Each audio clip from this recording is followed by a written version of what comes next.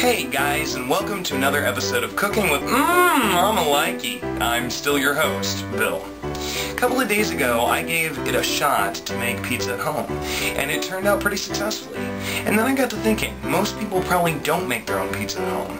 But actually, if you just went with a cheese pizza, you could make that for just about $4. And it's enough for two people, um, at least the size that I'm making. So we're going to give it a shot. I am actually going to do some toppings, but you know what I always say? Pizza's kind of like sex. Even when it's bad, it's still pretty good. Let's get started.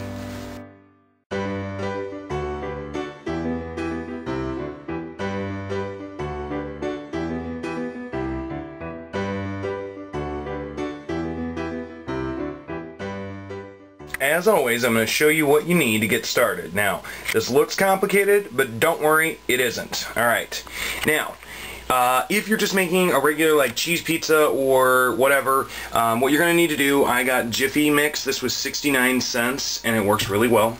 You're going to need to pick up just some pizza sauce. Um, you can use tomato sauce if you like to, but that's kind of ghetto. Uh, you'll need a bag of mozzarella cheese. This was on sale, $2. Oh, this was a buck, by the way. Um, I'm going to be using some green pepper in it, so I'm going to need a cutting board and a sharp knife, and of course my green pepper.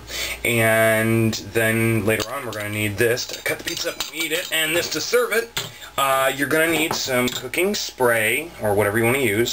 You're going to need a bowl with a lid, um, or some saran wrap. You'll need a spoon. Ooh water, but once again doesn't have to be bottled. I just do that to make it look pretty. Uh, you're going to need a baking pan. This one's really old and scary, but it works, and that's why I'm going to use tinfoil. and you're also going to need a measuring cup. So, you're also going to need some flour, and of course, a stove. Well, rather an oven, but whatever. Ah! Let's get started, and I'll show you how you put it all together. Okay, seriously, people, this is not rocket science, and I'm going to show you exactly why. If you go with my Jiffy Mix recipe, uh, here, here you go, let, me take a little look here. Um, right there on the back, pizza crust instructions. Yeah, so we're going to follow those step by step. I went ahead and preheated the oven to 425 degrees, and now we're going to take our little Jiffy Mix and, and watch this. Boom! Well, almost boom. Settling may occur. Okay. And then I've got half of a cup of water. Make sure you don't use more. It'll make it goopy. Pour that in there. Bam! And then, I got a spoon.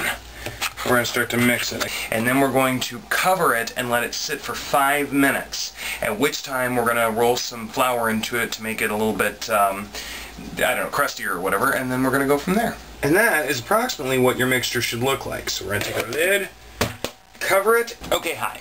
So it's been five minutes and my mixture has uh, risen a little bit. Now this can get a little messy. What you're going to want to do, take some flour. Now they say to do it on a, a cutting board or whatever. I'm just going to do it in here.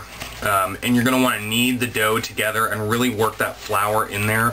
Um, and once that's done, we're going to roll it out on the pan. We'll add the sauce and the cheese, but we'll get to that here in a minute. Let me take care of this and turn this off while I still have a good finger. Well, oh, it's, it's messy. And next, you want to use your cooking spray. Spray down your pan really well, that way it slides off. And remember, we're using the tin foil for easy cleanup because then we'll just rip it off and it'll be clean and no more washing. So I went ahead and pressed it out here. I'm going to use this, actually, just to roll it out because I want to get it as flat as possible. I like thin pizza. And it's still not going to be like cracker crust thin, but this actually does help. And some of you might be like, ew, that's gross, get a rolling pin, but I'm ghetto and I don't have one. So let me do this. And then the next thing that you're going to want to do, here's a trick that some people may not know that I learned from working in pizza restaurants. You're going to want to take a fork. By the way, this is going to be sort of a handicapped looking pizza. But take any kind of fork and just go over the whole thing and poke holes in it because that's going to keep it from bubbling up and rising and, and all sorts of stuff. Okay, here's kind of a good view of it, uh, which it's all flattened out and I've poked my holes in it and it actually covered most of the pan. Alright, I've added my sauce, and add as much or as little as you like, but the most important thing is try to get it all the way to the edges. So I had a little bit of ground beef lying around, um, so I added that and my black olives and my green peppers, but I put a layer of cheese down first, and I'm going to put some more on now, because that's the way I like to do it. I'm also going to add a little bit of seasoning salt, or just regular salt, um, and Italian seasonings on the top of this just to give it a little something extra because I like my pizza kind of salty. I don't like it sweet. And one other thing that I'm going to do, which I'm not going to show you guys all this, and that's why I'm telling you about it, is I'm going to add, I have some cheddar cheese lying around as well. Oh, make sure your cheese gets to the edge. You don't want, you don't want no nasty crust, okay? And pretty much, yeah, I just used the entire bag of mozzarella. That's okay though, because it's gonna be damn good. But uh, I've got a little bit of cheddar cheese lying around in a lot of pizza restaurants. Just sprinkle just a little bit for a little something extra. So I'm going to get all that done. I'll show you what this looks like when I pop it in the oven. And as I'm about to put it in the oven, this is what it looks like. I've got my Italian seasonings, a little bit of seasoned salt, as you can see, my mozzarella and cheddar cheese. So let's pop it in for 20 minutes and see how this bad boy turns out. Mmm, can't wait. And remember, if I've gone too fast for you or you get confused at any point, just look on the back of the box. It's all right there. Yeah. Time to take her out.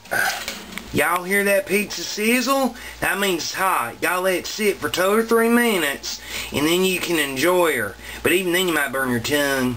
Wow. Oh my god, that looks so good. Even I'm impressed. Um, I think that one turned out better than my first one. So there you go. That's how you make homemade pizza. It's inexpensive, it's easy to do, and it's kind of fun. So try making one at home tonight. Let me know how it turns out, and most of you will see me eat this on my live show later on. Thanks for watching, guys. Bye.